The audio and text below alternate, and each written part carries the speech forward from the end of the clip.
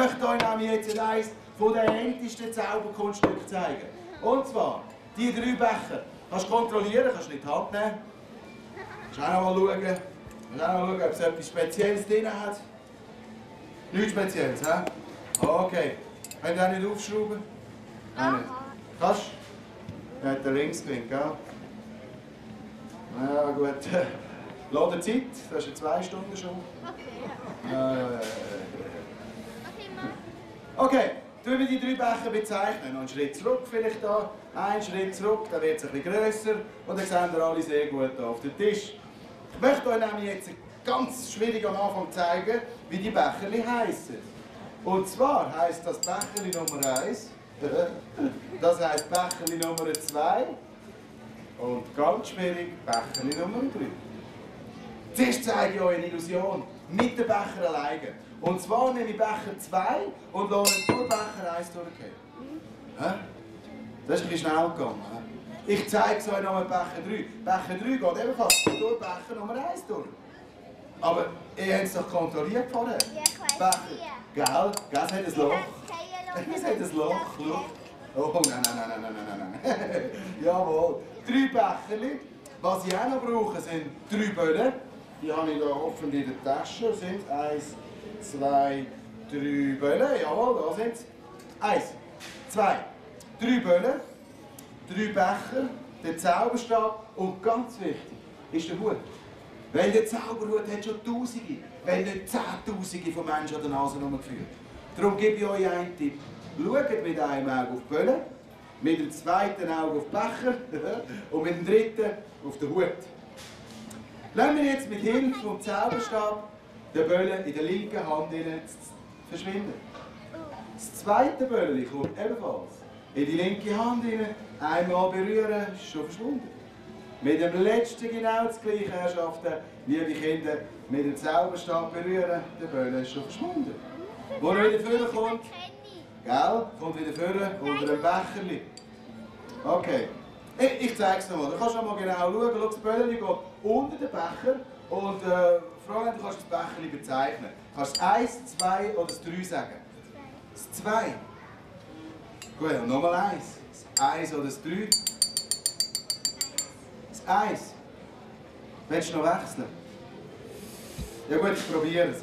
Unter dem 2 nehme ich das Böllchen unsichtbar unterführen und gebe es unter Becherli Nummer 1. Hast du gesehen? Ja. Also da ist verschwunden und da ist schon wieder angekommen. Ja. Ja.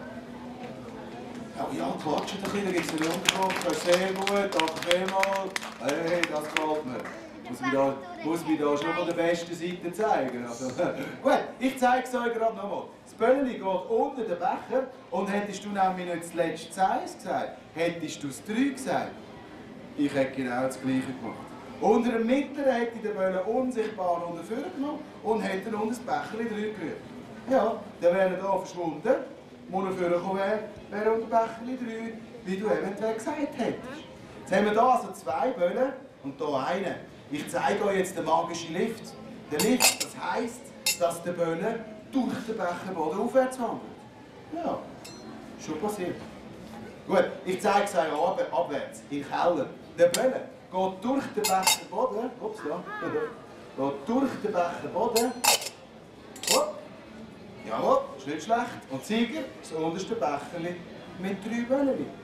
Ja, gut, ich weiss jetzt genau, ihr habt gut aufgepasst und sagt, ja, ja, der Herbie, der hat viel Böllen. Darum lassen wir doch einmal einen Ball in der Tasche verschwinden, den Becher auf den Becher, der zweite Böller in die Tasche rein, den Becher auf den Becher. Mit dem letzten tue ich euch verzaubern. Weil der Böller geht durch Sage und Schreiben drei Becher durch. Achtung, beim ersten. Selbstverständlich auch beim zweiten und natürlich beim letzten. Ups. Wenn ich jetzt aber möchte, dass das letzte Böllchen unter dem mittleren Becher und dem Becher 3 vorkommt, schon passiert. Habt ihr es gesehen, wandern? Das Böllchen ist vom mittleren Becher ins Becher 3 gewandert. Habt ihr nicht gesehen? Es wandert unsichtbar, aber ist schon angekommen. ja. Jetzt, habt ihr gesehen, dass ich beschissen habe?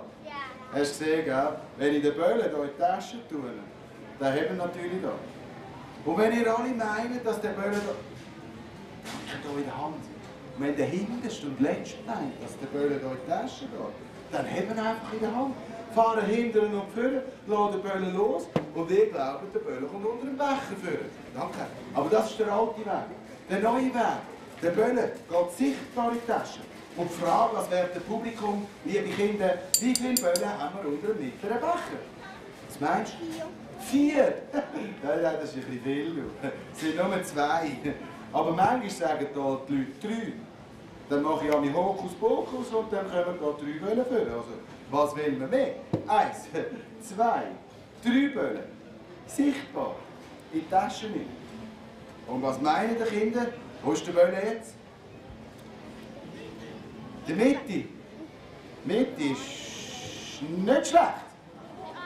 Hey, hättest du aber auch äh, rechts oder hättest du auch links können sagen, es wäre überall einer gekommen. Jawohl, Dankeschön.